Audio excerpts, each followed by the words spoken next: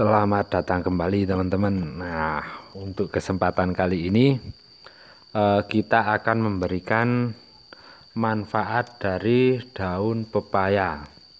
Nah, jika eh, teman-teman semua di sini punya pohon pepaya, itu eh, daunnya bisa kita manfaatkan untuk pakan kelinci.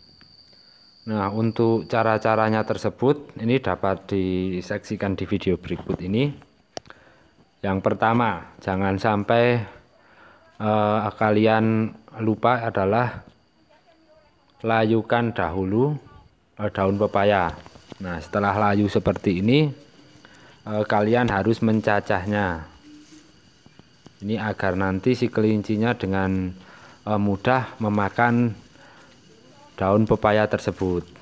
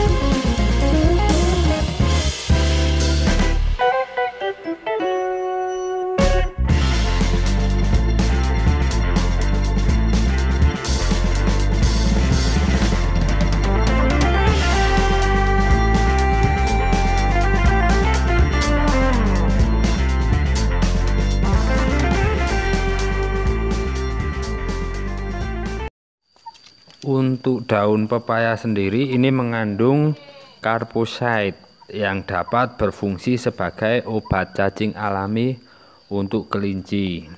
Nah, untuk yang kedua, daun pepaya mengandung yat papain yang tinggi sehingga e, rasanya menjadi pahit. Nah, namun yat ini justru bersifat stomakik yaitu dapat meningkatkan nafsu makan dari kelinci kita. Nah, sehingga e, ketika kelinci kita nafsu makannya menurun, ini dapat kita berikan selingan daun pepaya. Nah, untuk yang ketiga, memiliki kandungan enzim lisosim yaitu berkhasiat sebagai e, antibiotik bakteri bekerja dengan cara memecah dinding sel pada bakteri tersebut. Nah, namun yang harus digarisbawahi tentunya adalah satu, jangan pernah memberikan daun pepaya segar kepada kelinci kita. Nah, untuk yang kedua, tentunya jangan terlalu berlebihan dalam pemberian e, pakan ini. Ini cukup sebagai e, makanan tambahan ini bisa seminggu dua kali ataupun seminggu sekali. Nah cukup sekian teman-teman.